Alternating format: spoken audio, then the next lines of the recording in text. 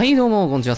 ワクテカと申します。今回ですね、シャドールデッキ対戦の解説動画ということでですね、こちら、えーデッキ解体デッキ対戦のまとめと、えーデッキ紹介と、プラス、えーデッキ対戦のこういったね、詳細な解説をやっていきたいと思います。さ、まずは、えーっと、おそらくエルドリッチでしょうけども、カード5枚伏せたところで芝刈りが通る。芝刈り通ったらね、もうあとはイージーゲームに違いですよ。まあ言い過ぎかもしれないけど、でも割とマジでね、それぐらいは有利は取れるので、逆に言うとね、芝刈り通らないとね、無理なんです。あの、あの類が。あ5枚伏せの場合だと永続系のカードが絶対ありますから、だからドラゴンをいかに使うかというところですね。で、エルシャドールは握っておきましょう。まずはマスマチシャンで、はい、スケールこの純シャドールの場合だとガーディアンキマイラとシャドールドラゴンで伏せ2枚まではある程度ねあの殺しにいけるんですよ。それがでかい。ですが午前試合を打たれたのではい。ガーディアンキマイラは出せなかったですね。アプカローネがあればワンチャンあったんだけどそうもいかんからな。ネフィリム。でネフィリム2枚。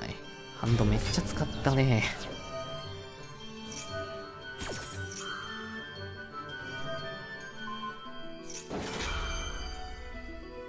さあ、ここで、チェーン1ネフィリム A、ネフィチェーン2ネフィリム B、チェーン3ドラゴンでスキルドレインを対象に選択することで、えーこちらのカードをね、スキルドレインの呪縛から抜けて取るようになると。ただ、午前試合をどうにかする方法がちょっと今のところない。これちょっと失敗ですね。最初、白雪効果使ってから殴りに行くべきでしたね。そうすれば相手がなんか、エルドリッチかなんかいたとしても大丈夫だったんで。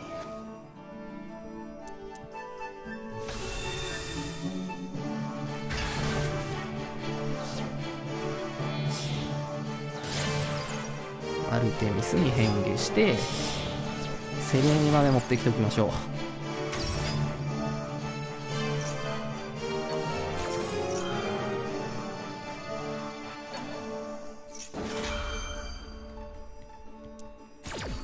フィリム効果、インカネーションとルークを手が加えます。まあ、つっても出せませんけどね。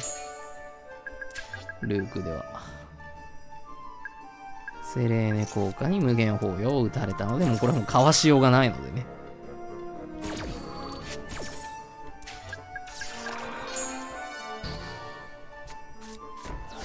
2伏せで。エンドフェイスにガーディアン発動。これで伏せが全部見えました。不明カードはないです。エルドランド持ってこられたんですよ。これ強いわ。お見事だわ。ただ、ライフも残り少なくなってきましたから、ゴリ押しでいけばいけるんじゃね？と。で、白雪効果。あ、見てわかる通り、今回白雪2枚構築なので、これを利用します。ゴリ押しでいきます。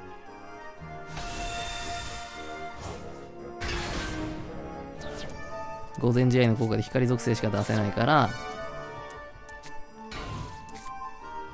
アプカローネなどを出すことはできません。しかし忘れてませんか？この子、今手札にあるこの子。この子の属性は何かな？光属性なんですね、これ。さあ、バトルフェイズ。まずニビルで、はい、攻撃。そして、フィルで攻撃。通れば終わるけど、当然コンキスタドール。そのまま破壊。そして墓地には2枚目が存在するので、白雪2枚目を特殊召喚して、勝利です。いいでしょ、白雪2枚構築。かっこいいでしょ。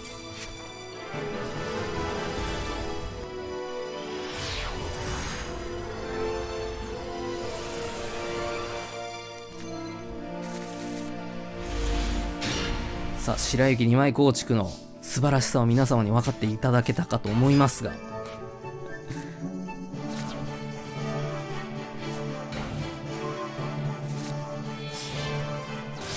普通の反動の時は普通に行きましょうと。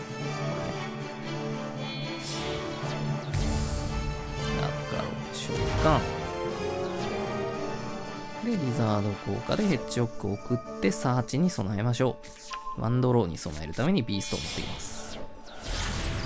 アナコンダ。で、墓地に送られたアプカローネの効果で、で、ビースト効果ワンドロー。で、ベルテアナコンで効果で、マジカライズフュージョン墓地に送ろうとしますが、サイフレーム。まあ、これはしょうがない。うん。まあ、最低限仕事はしたのでね、ルークを持ってくるという。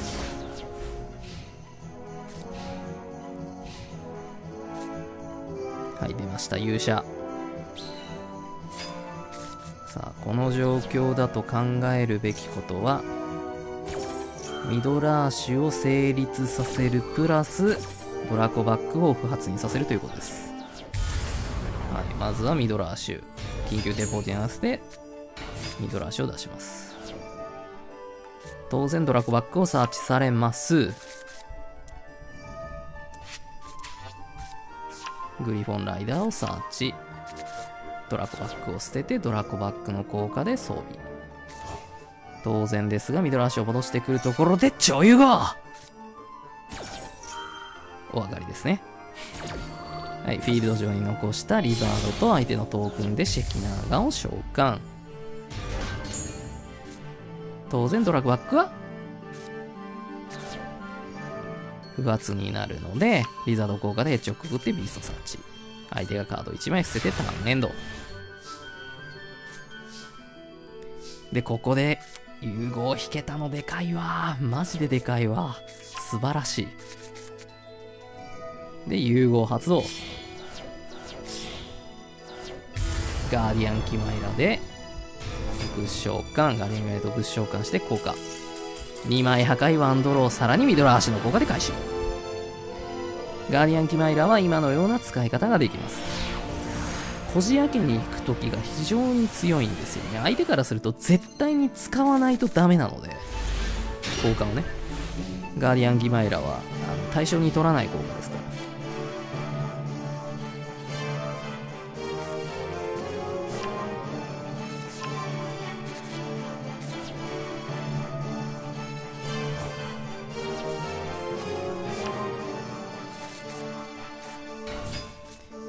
幻影勇者ですね、どうやら。しかし、まあ、ゾウジーとニビルがいるので、なんとかなるんじゃないの？と楽観視してます。で、ケルビー効果。で、サイレントブーツ効果でサーチ。ジェードブリガンライン。で、ティアーズスケール効果に合わせてゾウジーを打ちます。なんでここまでゾウジー待ったん？っていうのは、まあ、人によるとは思うんですけれども、僕は、チェーンに乗る特殊召喚にチェーンして打つ形じゃないと不安でしょうがないんですよね。だからもう確実にドローするところはで待つ派です。基本は。基本はね。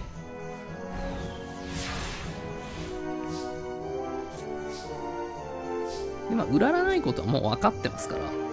隣の芝刈り。同時打たれました。まあ、しゃあない。これはしょうがない。残しておくとダメなカードばっかりですから。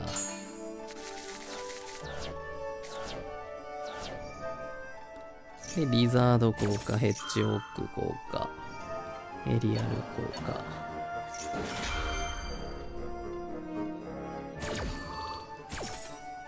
エリアルで3枚とりあえず除外しといて、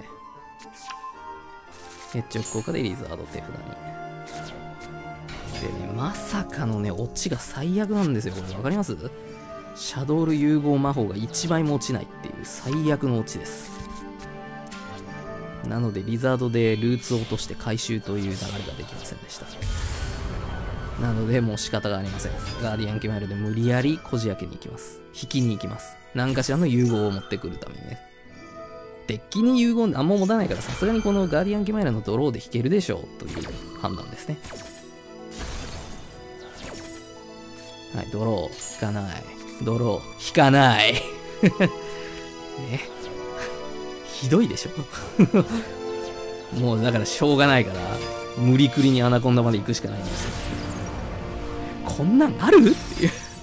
でもしょうがない。マジでしょうがない。やることないんだもんだって。これやるしかマジでやることないから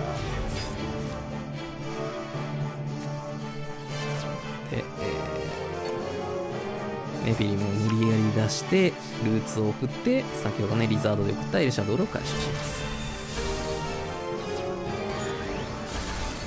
でとりあえず相手のね夫人をねほぼ空にしてるんですがまあハンドが8枚ですよ。種ぼうきでこじ開けられたのでエルシャドールフュージョン。でもさらにいやもうさすがにこれ話になんない。もうダメダメダメ絶対ダメということでうららを打って向こうにしますなんでうらら打ったのかというと、ウェンディ効果使わなきゃならないんですよ。あの、まあ、ちょっと待ってくださいね。土地に、これ、見て分かった、分かると思うんですけど、まあ、白雪がいるのと、インカネーションがあるんですよ。ね、今見た通りに。インカネーションがあるので、こ。だから、デッキからドラゴンかリザードをウェンディから引っ張ってきて、相手が何かしら、例えばまあ勇者だったら勇者でいいんですけれども、勇者でもモンスターを、勇者でも何でもモンスターを出したときに、え、リザードまたはドラゴンのリバース効果を使って、えー、モンスター破壊またはモンスターバウンスの効果を起動させると相手単純にね。インカネーションはあの裏から表にすることが可能なので。で、そういったことをしないとダメだし、何より妨害がもうありませんから、白雪とそこしかないので、ここで増字打たれると3枚ドローが確定してしまうんですよ。それはもうダメだということで、もうここはうららを発動しました。ね。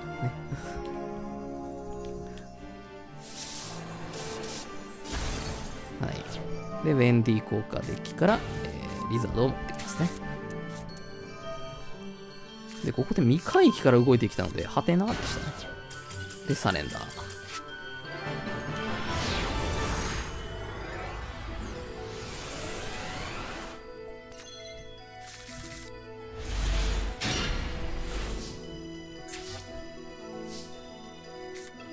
このインカネーションを使った流れは、まあ、そこそこ、なんだろう、えー、やるムーブですので、まあ、覚えておいた方がいいというより、絶対覚えなきゃならない技術ですね。絶対覚えなきゃならない。相手ターン中にリバースして効果を無理やり起動させるというのは、ただ、インカネーションは、まあ、ムーブ的に最初の展開で使ってしまうことが多いですから、今今回は使えてないけど。複数枚あの使うって本当にむずいんですよね。複数枚なんかデッキに入れなければならない入れたいんですよ。めっちゃ入れたいけどね。めちゃくちゃ入れたいけどね。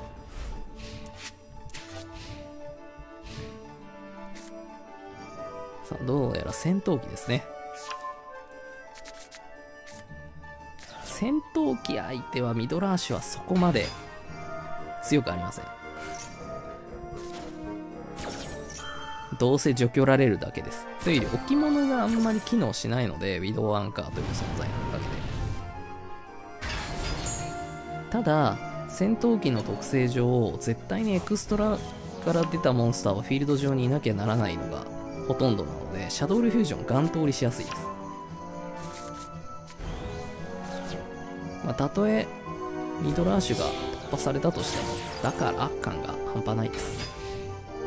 むしろ除去してくれませんとまで言える。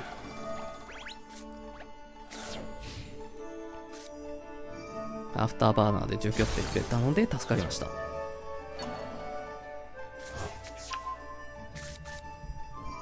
で、この三戦の才鬼強かったっす。ドローを選んでくれてよかった。これもし仮に僕の手札の1枚戻すって言われてシャドルフュージョン送られてたら負けてました。完全に 完全に負けてました。危なかった。本当危なかったです。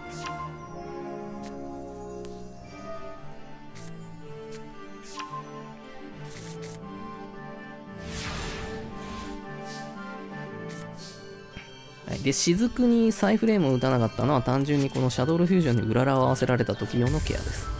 まあ、なかったですけどね。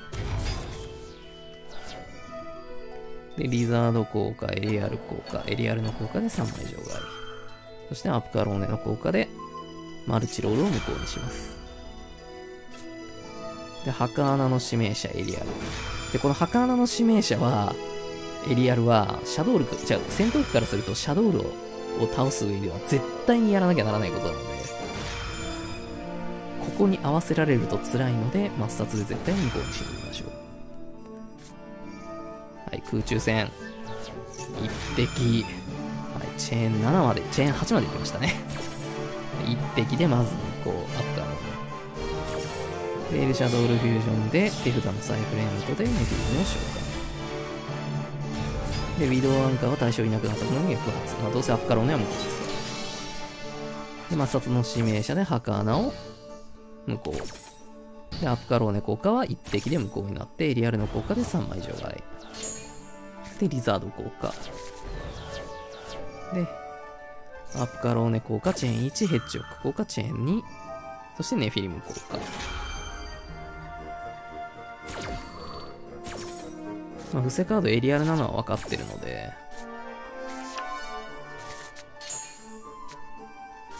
で、ルーク持ってきて、ヘッジでサーチしたビーストを捨てます。そしてウェンディ効果、ビースト効果。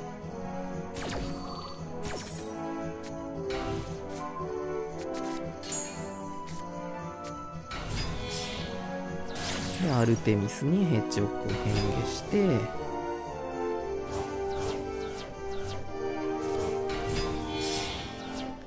みたいで黒シープ。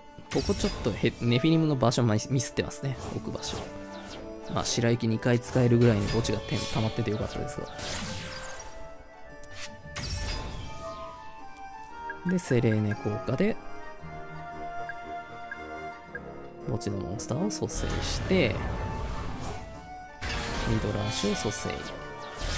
アクセスコードトーカーまでつなげて、で、アクセス効果。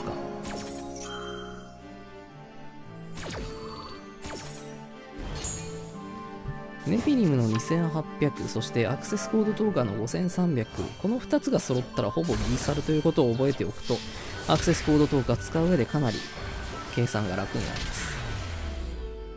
対戦ありがとうございました。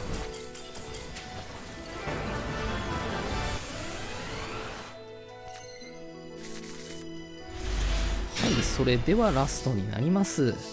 このクソほど事故っている先行ハンド。方向ハンドだったらよかったのにね、という話なんですけどね。ワンフォーワン。はい。ね、LL 鉄銃ですね。さあ、もう LL 鉄銃と分かった時点で、この雪うさぎを使う機会はほぼないと言っていいでしょう。なので、このニビルとサイフレームをどこにぶち当てるのか選手権です。相手のハンドが潤沢でさらに高校1ターン目である以上、もうどこまで行ってもリーサルを確定する8000以上の うん、攻撃力を確保するのは容易です。なので、そこまで待ちます。最低限。もう、相手にうららがありましたとか、抹殺がありましたとかあったら、どうせ負けです。それぐらいの割り切り感でやっています。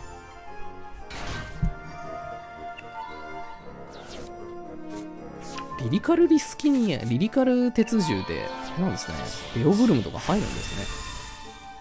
えーと、ちょっと結構珍しいんじゃないと思っちゃった。で、竜王ホップで、ベオブルム効果でキット、キット効果で4体除外してシュライグですね。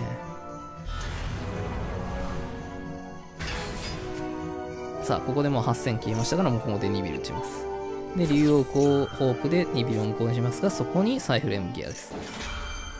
で、勘違いしてもらうって、勘違いしてる人結構多いんですけれども、竜王ホープは効果で破壊することができませんから、サイフレームでは破壊できません。ただし、破壊できなくても無効の効果を受けるので、問題なく2ビルの効果は通ります。要するに竜王ホープの効果を無効にして2ビルは通りますってことですね。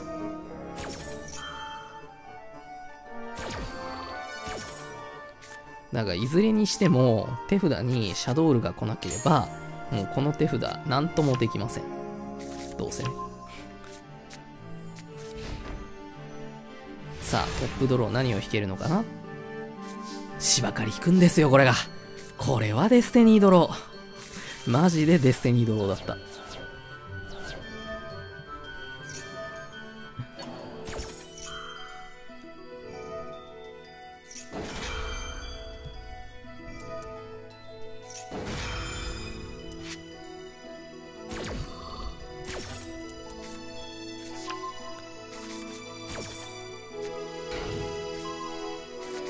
手札に融合を確保するクロッシーブラックスイープが存在するのでガーディアンギマイルで無理やり分けに行きますと思ったら聞きました。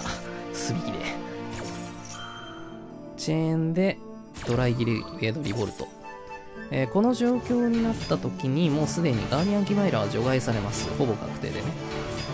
じゃあ考えるべきなのはシャドルフュージョン通すことです。うららがないのは芝刈りに打ってこなかったことで明白。なので手札のドラゴンを含めたモンスターをリリしてガーディアンキマイラを落とします。チェーン1ガーディアンキマイラ、チェーン2リザード、チェーン3ドラゴン。ドラゴン効果で後ろを終わります。で、ガーディアンキマイラ効果でシュライグを生き残らしてトークンを割ります。ニビルトークンをね。シュライグ効果は通りますが全然問題ありません。シャトルフュージョンが通ればそれでいい。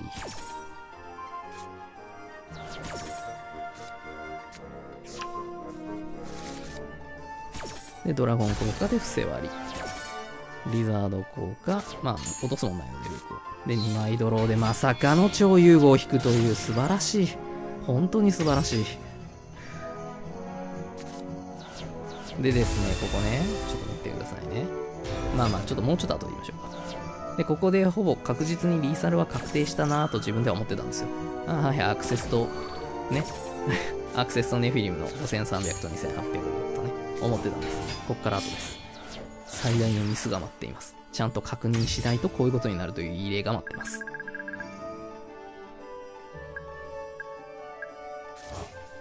はい。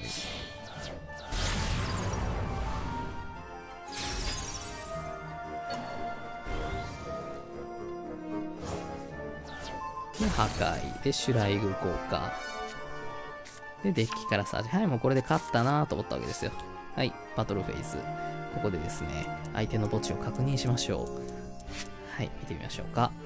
うん、はいはいはいはいはいはいはいはいはいはいはいはいはいはいはい、これ。ペロペロケルベロス。141のコストで墓地に送ってたやつですね。このカードが墓地に存在し、戦闘または相手の効果で自分がダメージを受けたとあり、この地のこのカードを除外し、フィールドのカード1枚を対象として発動できる。このカードを破壊する。超絶懐かしいカードですねはい。まさかこんなん落ちているとはと分かっていなかったので、ちゃんと墓地確認すれば分かったはずなので、エリアルで除外することもできたわけですよ。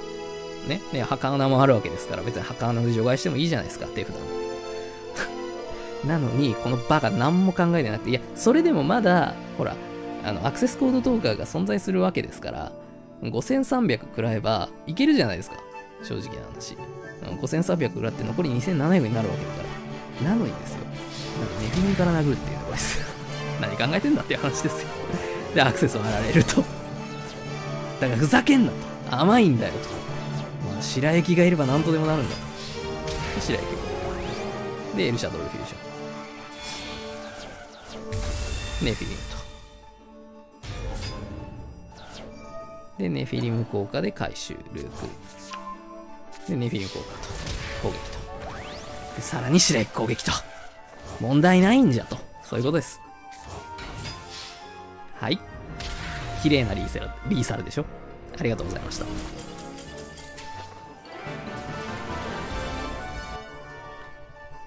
はい、えー、いかがだったでしょうか、えー、シャドウルの敵対戦まとめとなっております。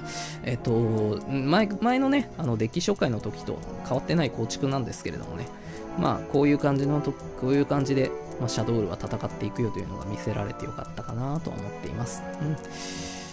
うん、一番重要なのは先ほども言ったように、シャドウルの特性、あの、先ほどじゃないわ。あのデッキ紹介の時も言ったように、シャドウルの特性を理解して、シャドウルのモンスターとか、そういったのをきちんと頭に叩き込んでおくことが重要ということです。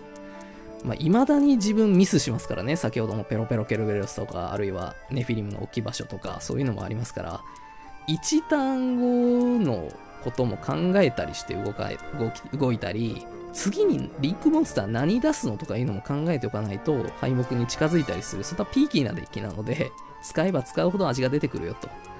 まあ、いい風に言えばね。使えば使うほど上手くなっていくのが、上達していくのが楽しくなるデッキだなとは思いますし、で、極めた俺はもうこれ完璧だと思っていてもポロッとミスしたりするデッキでもあるので、飽きは来ないデッキだなと自分では思います。えー、シャトルの敵対戦まとめでした。お疲れ様でした。また次の動画でお会いしましょう。バイバイ。